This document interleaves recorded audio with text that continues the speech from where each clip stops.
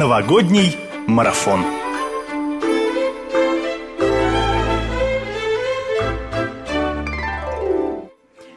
Доброе утро, дорогие друзья. А, Всем здравствуйте, всем приятного новогоднего настроения. Ну что, Саш, начинаем. Конечно, начинаем. Давно уже пора было начать, потому что кто, как э, не наш марафон, создаст всем нашим радиослушателям прекрасное новогоднее настроение и, конечно же, приятные сюрпризы. В студии у нас сегодня Александр Робин. И Елена Яковлева, дорогие друзья, это первый выпуск новогоднего марафона. Много у нас сегодня запланировано, и будут и новогодние интервью, и детские стихи, и песенки, и даже ждем и поздравления с таким наступающим Новым годом от вас, дорогие радиослушатели. Ну, конечно, уже можно поздравлять друг друга потихонечку, по крайней мере, репети- репетировать точно. Нормально, Вот. да, репети- репетиция это то, что нам нужно. Телефон студии у нас 62 80 30. А также, уважаемые радиослушатели, призываем вас звонить, потому что мы хотим вам подарить перед Новым годом что, Саша? Самую настоящую новогоднюю красавицу, друзья. Для тех, кто а, уже еще точнее не поставил елку, а для тех, кто, может быть, знает, что у него а, есть еще местечко под елочку, да, а, сегодня мы в прямом эфире а, нашей радиостанции разыграем настоящую новогоднюю красавицу, елку около двух метров. главный символ наступающего года, Нового года, в принципе, этого праздника. И есть у нас вопрос для вас, радиослушатели, на который, если вы ответите правильно, то мы приглашаем вас к нам на территорию ГТРК Псков. Э, В Псков нужно приехать с новогодней елкой. Может быть, вы где-то живете здесь или недалеко в районе. Может быть, Вот. кто-то из знакомых у вас а, здесь есть проездом, и эту елочку вам заберет, но, другими словами, елку, конечно, отдадим вам за ответ на правильный, за правильный ответ на наш вопрос. А вопрос с подвохом, я вам скажу так. То есть Не- Непростой, а может быть кто-то знает, кто такой садовод-огородник. Поэтому давай зачитывать. Итак, дорогие радиослушатели, ответьте нам, пожалуйста, как называется один из видов стрижки елей, который подразумевает под собой срез макушки дерева. Процедура, надо сказать, такая беспощадная, э, ну так вот но выглядит порой это- необходимое, да. Необходимо. Это такой дизайн. Потом вот елка растет очень красиво. Вариант у нас есть, поэтому вы дозваниваетесь к нам, и мы вам, собственно, поможем даже выиграть эту нашу елку. Чуть-чуть поможем. Да, итак, еще раз, как называется один из видов стрижки ели, который подр- подразумевает э, под собой срез макушки дерева, друзья. Ну что ж, Саша, марафон. Впереди у нас э, до 31 декабря мы будем в прямом эфире. Э, сегодня в прямом эфире, а завтра у нас уже пойдут выпуски, выпуски, выпуски, где будет много интервью с нашими гостями, участниками новогоднего марафона. Вообще, э, новогодний марафон проводится уже седьмой раз. Елена, давай для тех, кто, может быть, включил впервые, да, и такой думает, начинает искать в поисковиках, что же такое новогодний марафон, давай всем расскажем, в чем тут вообще вся фишка. Изначально новогодний марафон задумывался как такая благотворительная акция. Вообще даже не с этого надо начать. Она, он задумывался как такая просто небольшая рубрика, украшение наших предновогодних эфиров. Чтобы вот действительно создать просто людям настроение, поговорить про Новый год, про уходящий год, про зиму, про вот различные такие Подвести символы. итоги, построить планы. Ну, можно сказать так серьезно и да. Но потом мы как-то решили, что недостаточно нам просто разговоров одних и каких- каких-то настроений. Хочется дарить От слов подарки. переходить к делу, да? Хочется кого-то радовать. Ну, кого мы можем порадовать в этот праздник? Главный праздник для детей. И, конечно, мы решили для детей этот, этот марафон, в принципе, и продолжать, и продолжать, продолжать, и продолжаем. А, Мы бы хотели, чтобы дети из детских домов, из приютов нашей области не остались без новогодних подарков, чтобы Дед Мороз до них добрался. И э, он через участников нашего марафона гостей нашей студии, передает деткам всем подарки. В этом году мы сотрудничаем с э, Новоржевским приютом и с Островской коррекционной школой. С ними мы уже давно знакомы. Вот. Ну, стоит сказать о том, что новогодний марафон э, нашел Дедов Морозов почти для двух десятков детей, друзья. Вот ну да, вот. это очень приятно. Кстати, в этом году случилось, ну, такое, надо сказать, неслыханное. С ноября мне начали звонить э, участники прошлого марафона 2019 года и спрашивать, Лена, будет? Ну, пандемия, коронавирус, Лена, ну будет? Ну, а я сама не знаю, будет, не будет, что с нами будет через неделю, какая будет статистика, как мы будем работать. Но я решила, что, конечно, будет. Ну, Конечно, куда Саш, без праздника? как мы можем не проводить это мероприятие, да. Нет, конечно, куда без праздника, поэтому марафон стартовал, да, впереди у нас э, длинная предновогодняя дистанция, которую я уверен, что мы Пробежим, вместе- выдержим. Буквально, да, пробежим вместе с вами. Поэтому, дорогие друзья, 62 80 30, также можно звонить, э, поздравлять друг друга, но и, конечно Присоединяйтесь же... к нам, к нашему утреннему эфиру. Да, ну и, конечно же, елочку, елочку выиграть замечательную. А, напомню вопрос, как называется один из стрижки ели, который подразумевает под собой а, срез макушки дерева. Давай варианты дадим сразу. Ну, давай. У нас есть три варианта для вас. Это орлиное гнездо, беличье дупло или медвежья лапа. Вот. Вот такие звериные птичьи варианты. Да. Один из них верный. Угадывайте, пожалуйста. Новогодняя елка на елочных базарах и ярмарках стоит достаточно дорого. Ехать за ней в лес, искать, э, рубить, нести, вести тоже, Тоже. достаточно сложно, да? А здесь э, нет ничего проще, чем набрать э, 62, 80, 30 и один из трех вариантов выбрать. Шансы равны 33,3% у вас на победу. Нас Саша все любит в цифры Да. переводить. Все в статистику. Чтобы было понятней. Ну а сейчас я предлагаю перейти к нашей постоянной рубрике «Новогоднее интервью», послушаем, а потом вернемся к нам в эфир. Новогоднее интервью. Начинаем наше очередное новогоднее интервью. И сегодня у нас в гостях председатель армянской правозащитной общественной организации «Урарту», член Совета по межнациональным и межрелигиозным отношениям при администрации Псковской области Миржан Сергеевич Вермишан. Здравствуйте. Здравствуйте. Миржан Сергеевич, очень приятно вас видеть в нашей студии уже какой год подряд. Спасибо, что принимаете в нашем благотворительном проекте участие. Вы пришли сегодня к нам в студию с целой горой подарков. И очень бы хотела с вами поговорить немножко про уходящий год, про наступающий. Говорят, что он был тяжелый 2020 Но все-таки, всюду, да, да? наш новогодний марафон, он нацелен на какую-то нотку оптимизма, да? Позитива. Да, что же, э, что же было, может быть, радостного в этом году? Вот если отбросить все печали, невзгоды, да, и поговорить о чем-то приятном. Вот какое радостное событие, может быть, э, личное, маленькое, может быть, какое-то более масштабное. Вот в этом году вам хотелось бы вспомнить с улыбкой на лице. Да, улыбка можно придумать, но радостные события тяжело мне вспомнить сразу. Я, честно говоря, в этом году, так как все мероприятия ограничены были, даже в этом году мы грандиозную елку нашу много лет проводили, седьмой год в этом году должно было, но тоже отменили. Так что я, честно говоря, не могу лукавить и что-то придумать, что что-то для меня радостное было. Для меня радость, когда я приношу радости людям, детям. Вот маленький радость, вот, э, вот то, что вы приглашаете меня, это уже радость, даже для меня большая радость, что угодил я, община наша угодила кому-то, детям, и притом ваши дети, это все-таки из приютов там, из Да, детских да, да. домов, да, это очень радостно, и хочется больше делать. То, что мы делаем, это совсем мало, что мы делаем для этих детей, Ну, мне кажется, хотя бы раз в году у каждого должно сбываться какое-то его заветное желание. без сомнения. У ребенка тем более Дед Мороз должен услышать, должен исполнить, должен принести. А что вы вот обычно загадываете каждый год по двое курантов? И что загадаете в этом году? Нет, ну я загадываю, чтобы э, главное здоровье был близким, родным и стране, чтобы хорошо было. Если стране будет хорошо, и нам будет хорошо. Такое людям общее всем, желание да. для всех, да? Да, конечно. Да. А, а что делать, если у людей нет улыбки на лицах? Это плохо. А если люди улыбаются, значит, все хорошо. Миржан Сергеевич, Новый год – это такой сказочный праздник, да, и, конечно, в первую очередь Дед Мороз, взрослые стараются угодить, как-то порадовать детей. Помните ли вы свой Новый год, когда вы были маленьким, может, в детском саду, в школе? Вот э, эти вот времена. Честно говоря, я не могу помнить. Это все так, уже я совсем старый стал, чтобы вспомнить Не- 50 там, неправда, да, неправда. 50 с чем-то лет назад, что было. Но я помню единственное, что маленький такой Дед Мороз под елкой у нас всегда стоял. Мы ждали этот день, не знали, что отец обязательно подарки принесет. Утром вскакивали и проверяли под елкой, что там лежит. Вот это я хорошо помню. Вот это радость прихода Нового года. И я помню то, что с утра первого числа мы ходили по всем домам родных с конфетками в кармане, потому что дом заходил, обязательно пару конфеток ты должен положить к ним на стол. И мы знали, что там подарки тоже нас ожидают. Это было традицией. И очень хорошей традицией. Сейчас, конечно, такого нету. Это как у нас в России назывался калидовать. Каледа, каледовать, Каледа, да, да, да, что такое. Это у нас, я помню, вот это все время мы делали и радовались, да, даже уже большими были относительно, там лет 15, все равно ходили по гостям, что знали, сейчас да, да. Один год мы встречались всегда, брата, семья, мама, у нас и у него. В этом году решили, что мы будем сами по себе, никуда гости не будем ходить, но первый год у нас мать осталась здесь, не могли мы отправить из-за пандемии на родину, так что даже вот это очень плохо, что мы не можем даже с матерью вместе встречаться. Грустно. Вот, вот грустно. Ну, Ну, да, давайте вот все-таки найдем в этом какой-то позитив. Закончится это все. Все равно. Ну, без сомнения, все, даже все плохое всегда заканчивается.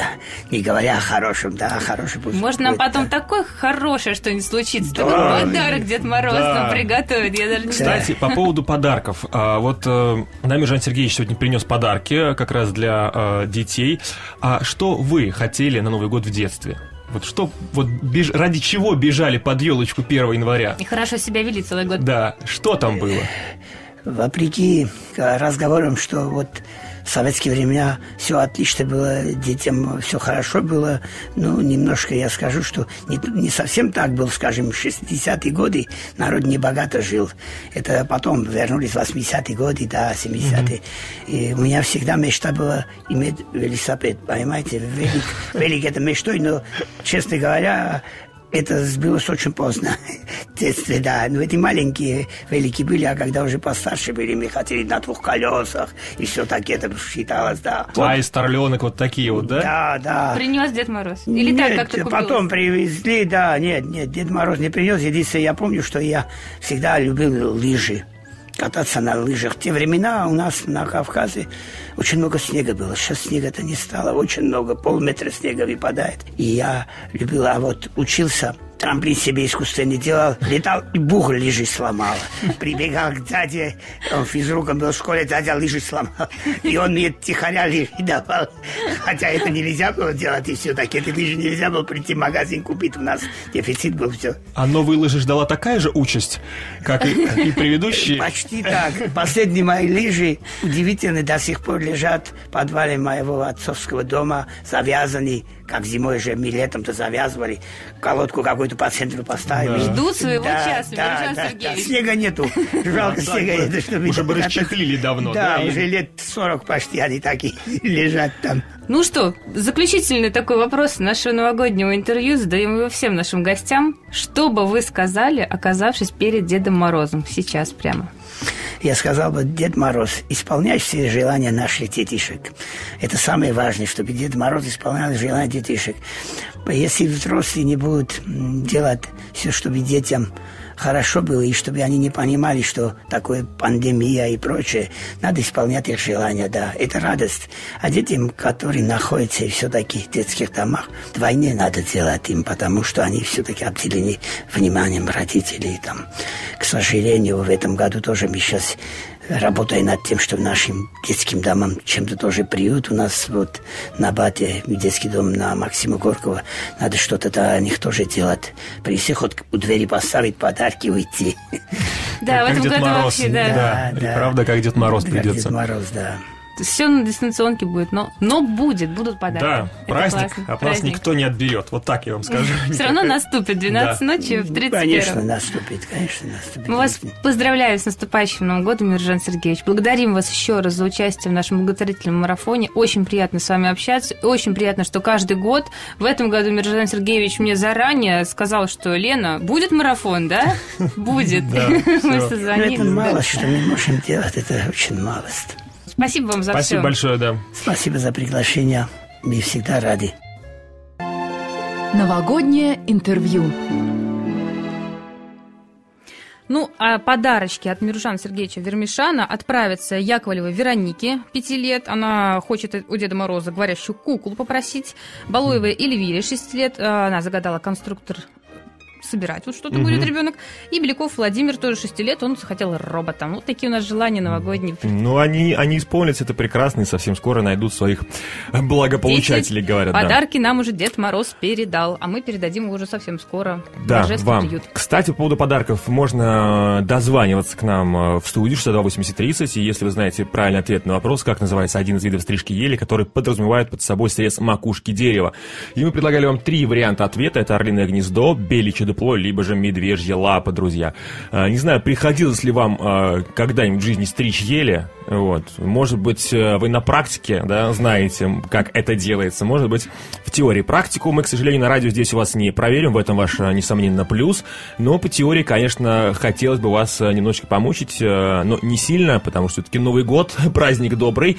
Это не зачет на экзамене, угу. а, да, какие-то ответы. Всего лишь три варианта ответа. Орлиное гнездо, белище дупло, медвежья лапа. Да, 62... Мы подскажем, если что. Елка уже будет ждать с 10 часов утра. Нам сказали, а, кстати, привезет нам ее а, главный лесничий Псковского района, а передаст нам ее э, Комитет по природопользованию и экологии Псковской области. Кстати, вот этот вопрос у меня родился заместителем председателя этого комитета с Колесниковым Юрием Евгеньевичем. Он вот именно в этой форме стрижет свои елки дома. И он говорит, что когда он стрижет эти елки, у него рыдает просто вся семья.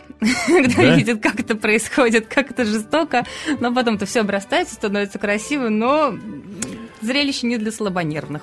Да, это как лук почистить тоже, да? Рыда, рыдает вся семья.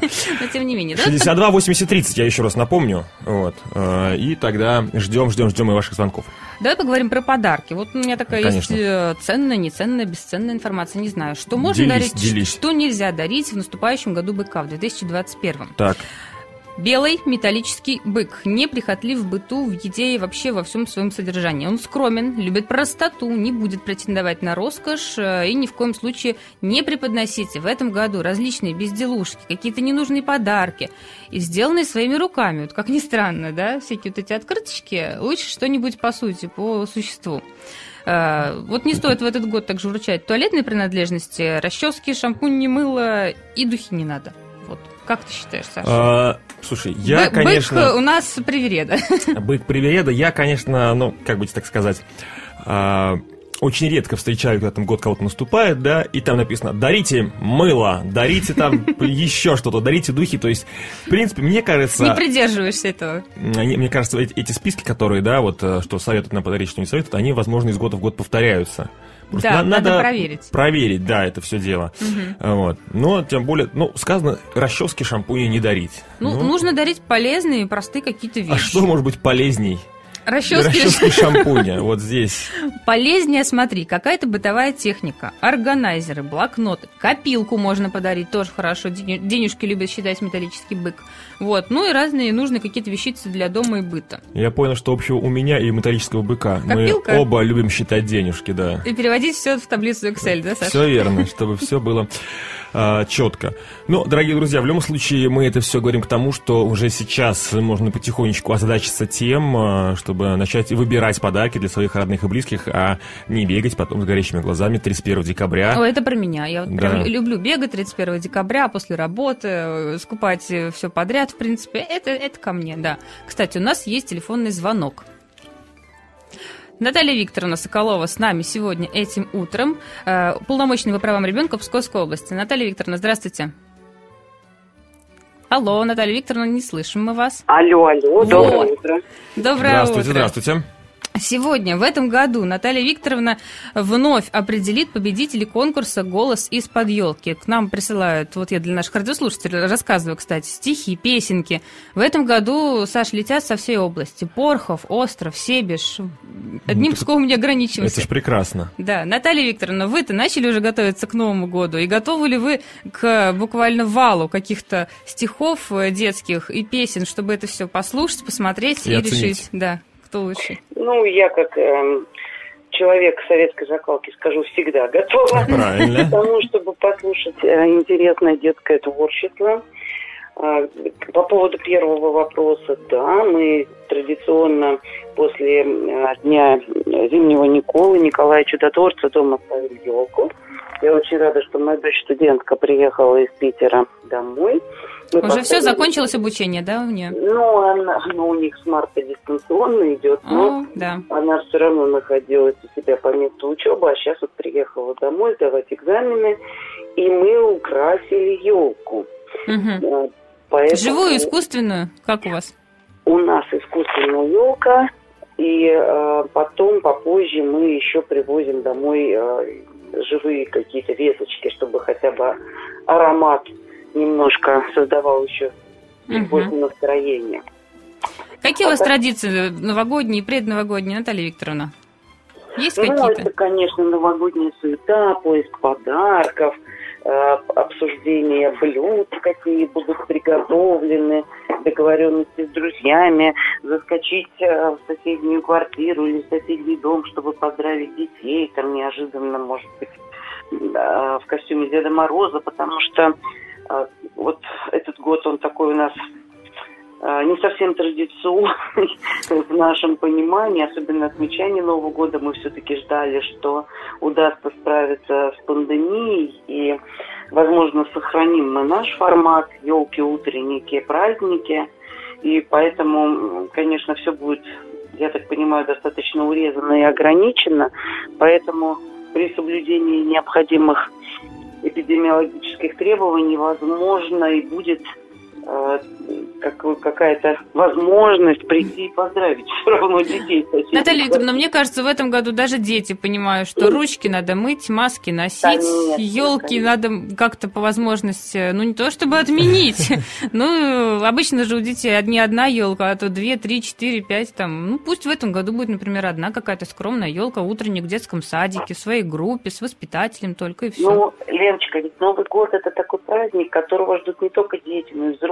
Это праздник, когда мы ждем чудес, волшебства и готовимся, да, и стихи Это учим. правда. Поэтому я вот, пользуясь случаем, хочу поблагодарить э, Радио России за объявленную акцию, конкурс, э, которую мы сейчас проводим, с которой ты начала говорить, голос из-под елки. И пусть у нас не будет у детей возможности, может быть, под центральной елкой прочитать стихотворение, но мы обязательно каждое выслушаем, каждую песенку подпоем и Мгм. обязательно всех отметим э, какими-то сувенирами, призами, потому что это очень важно.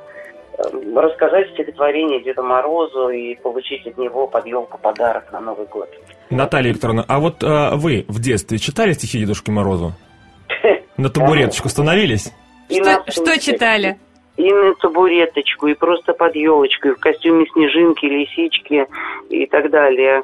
Все читали, все, что было в то время. Кстати, мы вот сейчас э, смотрели стихи с э, друзьями там, для детей, для маленьких, современные, и несколько шокированы современным творчеством, потому что, мне кажется, раньше как-то стихи были более насыщены смыслом, добротой, а не просто рифмоплетство. Хотя есть и современные прекрасные детские авторы, которые пишут хорошие стихи. В общем, другими словами, дадим совет родителям, прежде чем заставить и попросить ребенка выучить стих, надо сначала самим понять, Сама- да. О чем он? анализ сделать. Наталья И, Викторовна, и помочь ребенку вместе с ним прочитать, потому что совместное творчество – это залог крепкой семьи. Это точно. Безусловно. Наталья Викторовна, мы, наверное, прощаемся с вами в эфире, но вы, пожалуйста, нас продолжайте слушать, потому что Да, сейчас да. как раз-таки будут читать первые стихи, первые наши участники этой нашей такой рубрики «Голос из-под елки».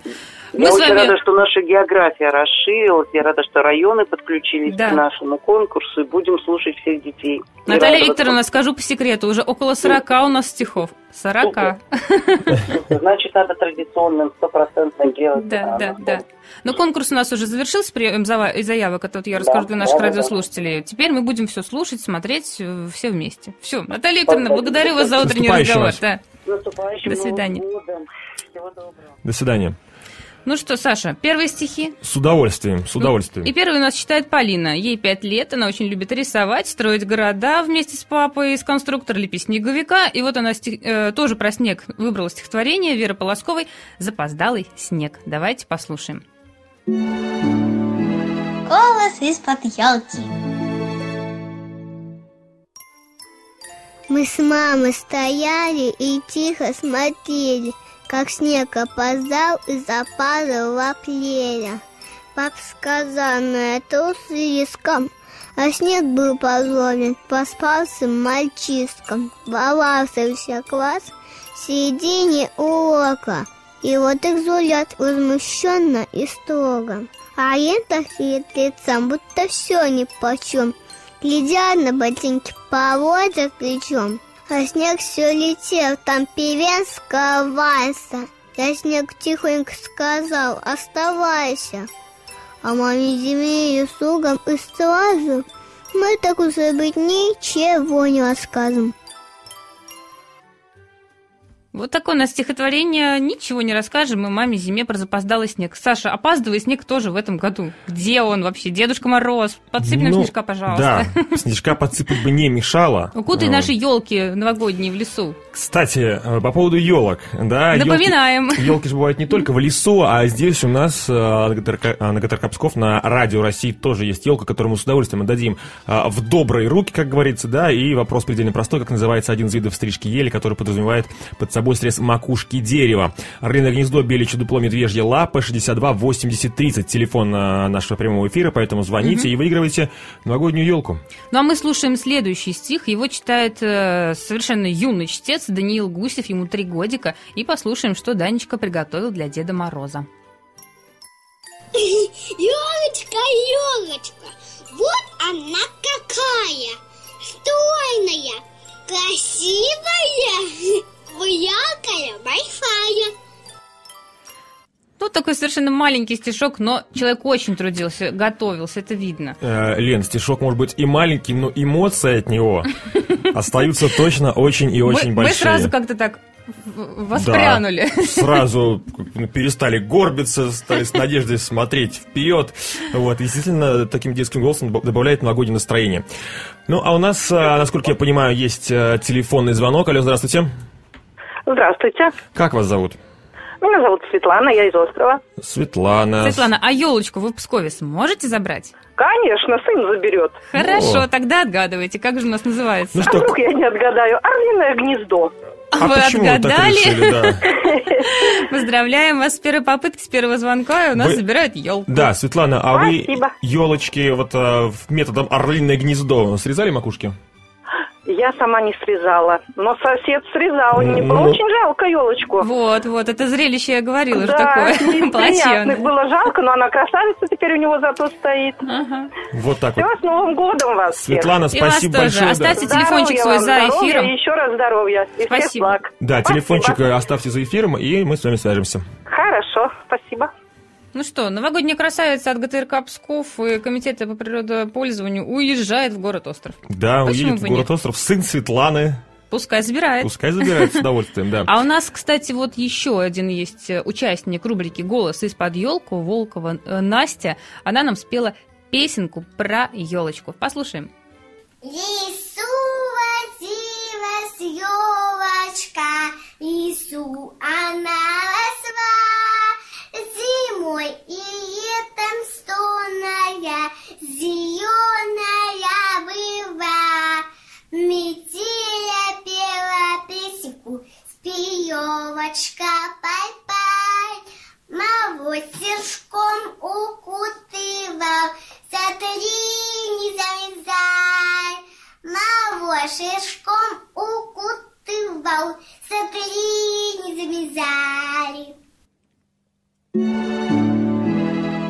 из-под елки. Ну, какие чудесные у нас, Саша, голоса звучат в утреннем эфире. Замечательные, да, голоса из-под елок только что мы прослушали, но на самом деле мне кажется, э, что вот подобные стихи и песни, которые мы услышали, да, все-таки вот взрослым голосом будет звучать совершенно по-другому. а ну-ка даже- прочитай. Ну, если бы я начал читать елочка там цвела, елочка росла, елочка красивая была. Ну что это? Ну, так как-то грустненько. Пессимистично, да, уже вот это тяжесть лет, э, вот, э, понимание э, сложности бытия, оно, конечно же, немножко меняет настроение. А дети — это абсолютно чисто кристальное счастье. И они, кажется, знаешь, у них есть такой интересный взгляд на все вещи, которые вот у взрослых уже такой глаз замылился, мы не видим каких-то таких вещей, а вот они все время так подмечают, подчеркивают, и это очень интересно. Есть чему поучиться. Да, и на такие взрослые вещи они иногда- отвечают совершенно взрослым языком, не детским, почему бы нет. Поэтому мы решили, что сделаем еще одно новогоднее интервью, э, которое сделал такой наш, наш коллега Игорь Данилов. Он заинтересовался, что загад- загадывают на Новый год дети, и взял интервью сестер Серафимы и Валерии Васильевых. Предлагаю послушать. Новогоднее интервью. Так, Лера, Сима, у нас осталось всего несколько дней до Нового года, он уже практически на носу. Вы написали письмо Деду Морозу? Пока нет. Я еще не написала. А ну вообще, как считаете, кому Дед Мороз приносит подарки? Детям Только детям? И и взрослым. взрослым. И Детям всем или тем, которые хорошо себя вели? Тем, которые хорошо себя вели. А вы себя в этом году хорошо вели? М, Да. Лера, а ты? Не знаю. Ну, что хорошего вот вы сделали в этом году, расскажите. Мы помогали маме. Так. Ну, хорошие оценки в школе получала? Да. Ну, это ж хорошо. Маме помогала? Чем помогала? Ну, что-то по дому, наверное, делали. Присутствие кухню, коридор, мыли посуду и все прочее. О, так это много дел. Это я иногда за год столько не успеваю сделать, сколько вы смогли вдвоем. А, кстати, плохое что-то было у вас? Ну, у меня одни двойки по математике. Вот это самое плохое, да? Да. Может быть, у Деда Мороза стоит попросить пятерок по математике? Не знаю. А вы хорошими были друзьями в этом году? Да. Что бы вы хотели э, пожелать для своих друзей, э, загадать, может быть, какой-то подарок им подарить? Здоровье. А то сейчас это коронавирус. Ударил, да? Да. Лера, вот что бы ты хотела э, пожелать для своих друзей, подарить, может быть, им? Ну, можно ничего не дарить, ничего страшного. Им Дедушка Мороз, они сами напишут письмо. Нет, коронавирус. Чтобы они получали пятерки. О, хорошие оценки. Вот это хорошо, успеваемость в школе это всегда самое главное. А вот как вы считаете, можно ли как-нибудь, ну, мы с вами выяснили, что Дед Мороз приносит подарки только хорошим детям. А бывает, что делают что-то плохое. Вот можно ли плохое превратить в хорошее? Можно, если делать хорошие дела и не делать плохого. Как Дед Мороз, он же один, как он успевает всем детям принести подарки? Он летает на санках по небу. На каких санках? Волшебных. А. С оленями. Слушайте, это интересная теория. Я, никогда, я просто никогда... Вы видели когда-нибудь, как Дед Мороз? Тоже не видели? Нет. Вот как он это делает? Он невидимый прокрадывается в комнату и кладет подарки под елку. А вы когда-нибудь пытались следить за ним? Я пыталась не спать ночью, но так его и не увидела. Вот есть у нас Дед Мороз, а вы знаете, что на другом конце э, Да, в есть- Америке, кстати, Санта-Клаус. А вы как думаете, Дед Мороз и Санта-Клаус, они вообще Нет, дружат? они не друзья. Почему? Потому что Дед Мороз, он с посохом, он, он в красивом длинном пальто, или синим, или красном. И, а Санта-Клаус, он в штанах каких-то и еще в теплой шубе. То есть он не похож на Деда Не Мороза похож, абсолютно? не похож. Если вы на улице встретите и Санта-Клауса, и Деда Мороза, вы прям сразу отличите, кто из них кто. Да. Да, и, ну, это надо проверить. А вот у Санта-Клауса, вот у нас есть Снегурочка, да, Да. внучка Деда Мороза, а у Санта-Клауса кто есть? Не знаю. Одинокий человек, да? Грустный? Да. Все, Санта-Клаус. Это в Америке все. А мы в России, они в Америке. Многие взрослые, им, они говорят, что э, им нужно новогоднее настроение. Вот вы себе как-нибудь создаете новогоднее настроение? Да. Как? Наряжаем елку, наводим в комнате порядок, чтобы Дед Мороз принес подарки. А новогодние фильмы смотрите? Или М, мультики? а мы смотрели «Снеговик э, почтальон». Почтовик, снеговик, почтовик. Снеговик почтовик, это мультфильм какой-то. Да. А мы еще смотрели клип перед Новым годом. Какой клип? Смотрели концерт Little Big. Новогодний. Да. Ой, это интересно, я себе запишу. А вообще какие-нибудь еще мультики или фильмы нравятся новогодние? Мне еще Гунчика, Машинный король. Да, Вот, Щекучка машина король. Вот мне тоже этот мультик Еще нравится. там, там есть му- мультфильм, и там есть еще фильм. Там игрушка оживает, только там он подлиннее, а там мультфильм это Там короткий. еще Там- какой-то мультик «Школа для снеговиков» был. Шко- Да, школа для снеговиков, такой мультик есть. Вот, слушайте, я все это запишу, обязательно посмотрю. Вы сами, кстати, елку до дома нарядили? Ну, Пока нет. Мама сказала, что на выходных, когда у нас будет в комнате порядок. А, так вы еще, значит, не до конца себя хорошо провели Ну да. в этом году. Осталось сделать последнее маленькое хорошее дело, это убраться в комнате. Да. А вы уже думали, что будет на вашей елке? Какие игрушки? Можно звезду, у нас есть большая красная звезда с блесками. А я как ну, какую-то звезду делала на бисероплетение. Мне давали Там на бисере, там, там берешь проволоку, потом там надо бисер, это такие вот маленькие кругляшки, и их надо насаживать на проволоку, потом заправлять. Ой, я хочу записаться к вам на мастер-класс. Можно? А там кружок есть. А, ну в кружок меня возьмут заниматься? Не знаю. Я думаю, что вряд ли. А, вот 2020 год, это у нас 12 месяцев, он был долгий, длинный. Как считаете, это был хороший год или нет? Хороший. Почему? Потому что, потому что Ну просто о- хороший год. осенью были красивые листья, много всякого, много красивых листьев. Летом были хорошие зеленые листья. Да, Этот Новый год, потому что еще был веселый. и волшебный. Вот. И посмотрим, я надеюсь, что э, Новый год, который придет, будет такой же. Да. Ну и в конце скажите, что бы вы хотели вот э, попросить для всех-всех-всех вот людей, которые нас сейчас слушают, и ваших друзей, и, э, и не только друзей. Хорошего Нового года. И много подарков. Отлично. Новогоднее интервью. Много-много подарков мы желаем Лере Симе Васильевым. А Игорю Данилову мы желаем новое хобби. Пускай отправляется на бисероплетение, пускай сплетет нам звезду красивую на елку на наш родину. Ну, Правда, Саша? Пускай сначала себе что-нибудь сплетет, да, а Фенечки. потом фенечки, да, а потом, если будет получаться, то скажем, да, тогда уже можно и, а, и нам что-то сплести. Да. Интересно было, что девочки заметили, что Дед Мороз и Санта-Клаус не друзья. Ну, Почему они не дружат, интересно? Ну вот не знаю. Океан их разделяет, вот поэтому, наверное, М, только. Мне Правда? кажется, что волшебство, оно на всей планете одинаковое. Такое умозаключение от Александра Робина. И то, что не дружат, ну, год непростой, вот, Непростой. поэтому, возможно, они немножечко, ну... А сейчас очень сложно дружить, ты понимаешь, очень сложно считывать эмоции, когда у тебя маска на лице, улыбаешься, ты не улыбаешься, глаза у тебя о чем-то говорят или нет, как бы не просекаешь вот эту эмоцию, да? И дружить становится сложнее, правда? Но, э, допустим, допустим, я как бы, ну, сейчас попал... Пускай подружатся Дед Мороз и Санта-Клаус в следующем Ну, году. что, что для этого мы можем сделать? Коронавирус закончить. все, если от меня что-то зависит, то я заканчиваю. Вселенная, ты слышишь? Пожалуйста, заканчивай. Мы уже поняли, мы все уроки усвоили. А- Руки моем, да, маски носим. Руки мой, маски носим. В принципе, я думаю, что в новом году все будет получше, потому что такого а, практически все загадывают желание, да, закончить пандемию, и мне кажется, такого количества а, обращений а, и просьб а, о конце вот этого всего, да, чтобы Мгм. все закончилось как прежде, в новогоднюю ночь, ну, просто зашкалит. Одно большое желание такое будет над планетой. Ух, и все, да, да? да. Кстати, всё. просят об этом и дети, и взрослые, потому что и дети тоже, конечно, просят подарков, но мне кажется, они говорят еще вот о том, как Лера Симит, что коронавирус, вот это нельзя, это нельзя. И говорят о том, что все, закончись, пожалуйста. Ну, как-то мы много слишком говорим о заморской хворе, правда, Саша? Конечно, конечно, надо уже о чем-то нашем поговорить, э, хорошем, веселом, интересном. Напомню, что сегодня мы разыграли замечательную елочку, которая отправилась в остров к Светлане. Да. Вот.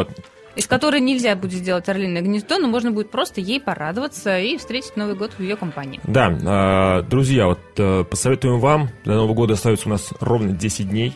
Да, и да, надо да, да, э, написать, мне кажется, тебе даже выписать, что нужно успеть сделать в эти 10 дней, потому что эти 10 дней будут на- просто наполнены, насыщены какой-то такой предновогодней суетой, но приятной. Мгм. И вот чтобы из головы ничего не вылетело, да, Составляем план и график. План и график, что нужно... Да, и стоимость вот этих планов, графиков и подарков, Да. чтобы в новом году не остаться с пустым карманом. Кстати, еще одна новогодняя примета про елку. Нельзя украшать в этом году, говорят, елку красными шариками. Ну, как бы бык агрессивный такой, вот, вот этот, ну, год наступающий быка, и лучше какими-нибудь белыми. Белыми шариками, да? Еще один лайфхак от нашей радиостанции утренней. Друзья, ну если не хотите, чтобы, чтобы бык сбил вашу елку, то не украшайте красными шариками, а слушайте хорошую музыку. Мелодия этой зимы, наша постоянная рубрика, исполнит нам песню Екатерина Андреева. А мы прощаемся с вами, друзья. До новых встреч, услышимся уже завтра в утреннем эфире. Пока-пока.